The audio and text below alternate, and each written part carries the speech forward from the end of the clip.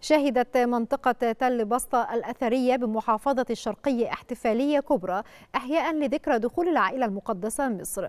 وخلال الاحتفالية تم تقديم أوبريت مسرحية عن دخول العائلة المقدسة مصر ومجموعة من الأناشيد.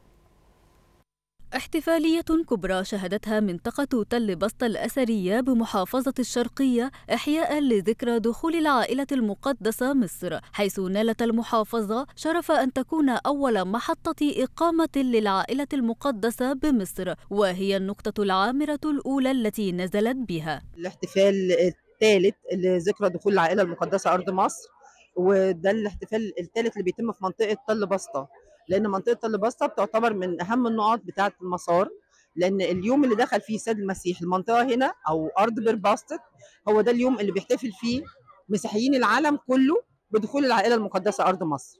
يعني مش في مش في دير المحرق اللي قعدت فيه أطول فترة ولا في الفارما أول ما دخلت لا أول ما دخلت عندنا هنا المدينة اللي كانت أكبر مدينة في الفترة دي بتاعتها ساعتها أو ساعة ما دخلت العائلة المقدسة هي بير باستت مدينة السلام. وتحرص مصر على أن تقدم بشعبها للعالم نموذجا في الارتقاء بالفكر وتقبل جميع المعتقدات والآراء حيث تلجأ كثير من المجتمعات الغربية للاقتداء بمصر في طريقتها في التعايش السلمي والنسيج الوطني المنسجم. تم تنفيذ كل الاستعراضات إحنا بنعمل استعراضات جديدة كل سنة آه وكمان تأليف موسيقي آه كمان كل المشاركة اللي حضرتك شفتها دي آه فريق ساتيرا وفريق كورال ليكن نور كلهم ولاد وأفراد المجتمع المدني من محافظة الشرقية.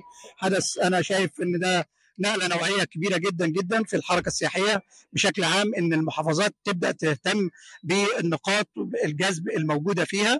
نبدأ النهارده بتل بسطه في محافظة الشرقية اللي يعتبر أول نقطة آه وصلت ليها العائلة المقدسة. وفي الاحتفالية تم تقديم اوبريت مسرحية عن دخول العائلة المقدسة مصر كما تم تقديم عرض لكورال مطرانيه الزقازيق ومنيا القمح ومجموعه من الأناشيد.